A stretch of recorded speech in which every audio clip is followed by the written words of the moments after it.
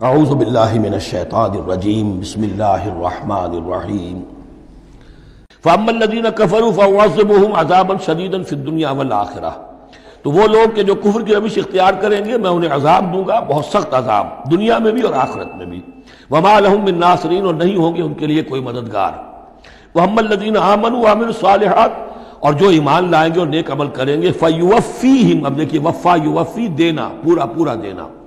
तो उनको वो पूरा पूरा देगा उजूर हम उनका अजर।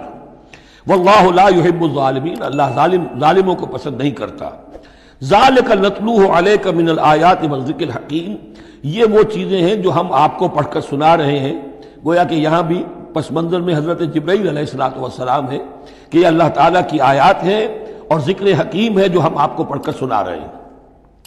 इन्ना मसला ईसा इंदल्ला का मसल आदम। ईसा की मिसाल अल्लाह के नज़दीक आदम की सी है।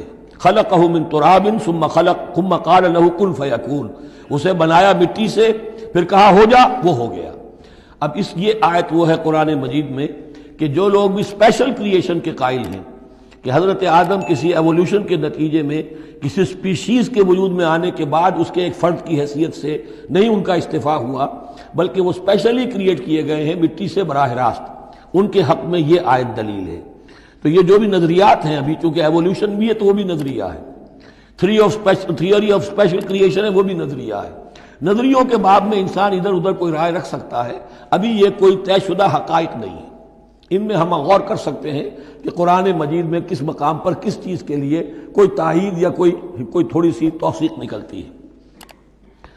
तो अल्लाह अल्लाह के नज़दीक तो ईशा की मिसाल ऐसे ही है, जैसे आदम उसे मिट्टी से बनाया और कहा, कौन फयाकून?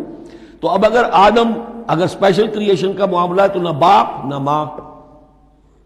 बगैर बाप और बगैर माँ के तो क्या वो इलाह बन गए? बनाने वाला तो अल्लाह है। हज़रत ईसा, माँ तो है, बाप नहीं है। हमल तो हुआ है, नौ महीने माँ के पेट में तो रहे हैं। तो वो तो आदम से कम मामला हुआ तखलीक में एजाज के एतबार से। और हज़रत इससे कम तक जरा देख लो तो बूढ़े फूस हज़रत जक्रिया और बूढ़ी फूस उनकी अहलिया जो सारी उम्र बांझ रही और उनको अल्लाह ने औलाद दे दी। तो ये सारे जो है मौजदात हैं, अल्लाह का इख्तियार है जो चाहे करे। इससे किसी की उलूहियत की दलील नहीं निकलती।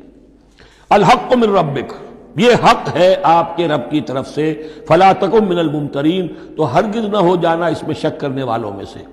फमन हाज या कफी है तो ए नबी, जो भी इस मामले में आपसे अब भी हुज्जतबाजी करे, झगड़ा करे बहस कर रहा है अभी सींग उलझा रहा है बहस के अंदर। बिम्बाद मा जा कमिन जबकि आपके पास तो अल इल्म आ चुका। आप जो बात कह रहे हैं, वो अला वजील बसीरत कह रहे हैं। फ़कुल